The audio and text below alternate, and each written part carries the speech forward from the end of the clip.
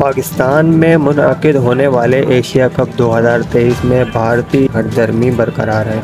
Asia cup से मुतल Bahrain में एशियन क्रिकेट कौंसिल का इजलास हुआ, जिसमें पाकिस्तान में शेड्यूल एशिया कप 2023 पर तफसीली गुफ्तु की गई। मज़ीद तफसीत में जाने से पहले आपसे गुजारिश है कि वीडियो लाइक कर दें, चैनल सब्सक्राइब कर दें और बेल नोटिफिकेशन भी ऑन कर लें।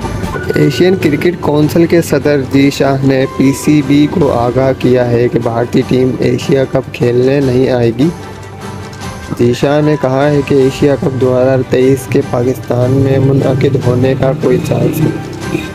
यूएई और श्रीलंका में एशिया कप खेला जा सकता है। दूसरी जानब एसीसी एलामिया में कहा गया है कि इजलास में शरीक शुरा का एशिया कप के हवाले से ऑपरेशन टाइम लाइन्स और दीगर अमूर पर गुफ्तु जारी रखने पर इतफाक़ किया है। एलामिया के मुताबिक मार्च 2023 में शेड्यूल अगली एग्जेक्टिव बोर्ड मीटिंग में एशिया कप 2023 के हवाले से दीगर मामला तय पाए जाएँगे।